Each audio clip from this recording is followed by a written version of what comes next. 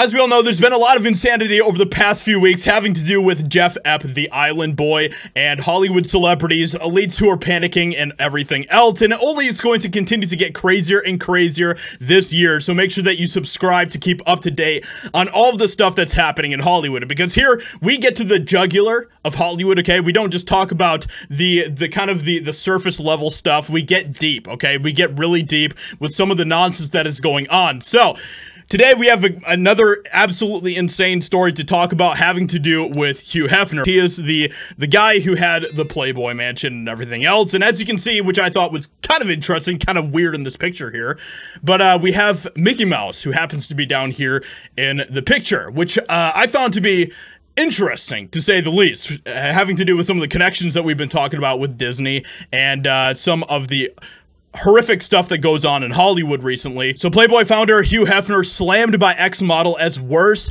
than Jeff Epp, which is quite the bar. you know what I mean? Like you have to be an absolute monster to be worse than Jeff Epp. I can't even, I, I, don't even know if I really believe that, but he was a monster. Garcia told me exclusively on a video call from LA, girl after girl was ushered up to Hefner's lair in the mansion, including lots of lots of people who were not of the age. And I guess in some ways you can say that what happened with Hugh Hefner kind of ushered in the era of Jeff Epp and the monsters that were created in Hollywood after Hugh. So we're going to get into this today because we have some absolutely insane stuff coming from Hugh Hef's ex. Hugh had little spy holes to record celebrities, politicians, and business leaders doing the deed, having spicy times with apparently some people who are not even of the age. Crystal says that she discovered the little spy holes in Hef's bedroom at the famed Playboy Mansion, and when she asked Hugh about them, he just shrugged, according to the New York Post. And then she did some of her own, her own investigation. But what are they for? Crystal Hefner says she asked Hef, I used to do a lot of filming, he reportedly told her. VHS, I had hours of video, hundreds of tapes.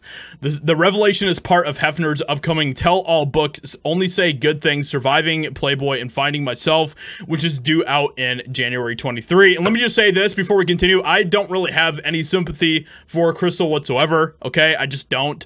You know, she was willing to live that lifestyle as long as it benefited her. Crystal says that she also asked her husband if all the celebrities knew he was recording them. It's my bedroom, it's my house, he replied, as if that gave him license. So apparently they did not know which makes me wonder. And we've seen this; these are the exact same tactics that Jeff Epp has has used with many celebrities that have gone to the island as well, where he has you know, tons of footage of them, which he used, of course, to blackmail a lot of people as well. In the book, Hefner adds that Hef, who passed away in 2017 at the age of 91, claimed to have tapes of numerous A-list celebrities and videos of them doing absolutely crazy, weird parties, also with celebrities and politicians and business leaders, some of whom were married. Celebrities, politicians, and business leaders.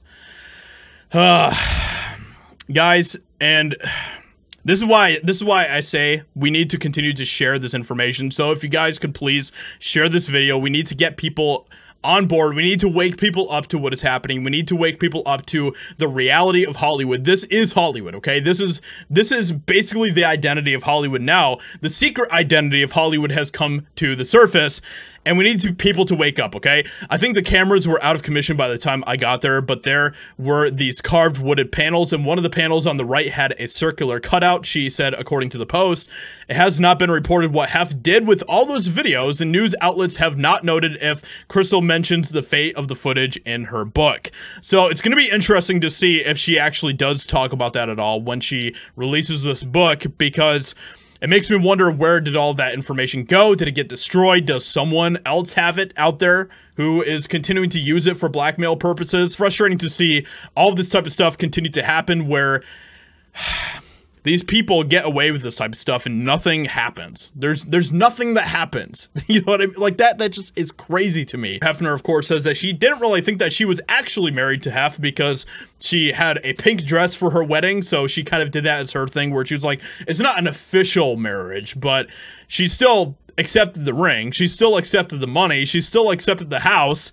So that's why it's hard for me to find any sort of sympathy with her. But as we all know, of course, uh, Hugh Hefner was uh, a, a raging Democrat. But with that being said, let me know what you think about this in the comments below. Leave a like, subscribe, and I'll talk to you all in another video very soon.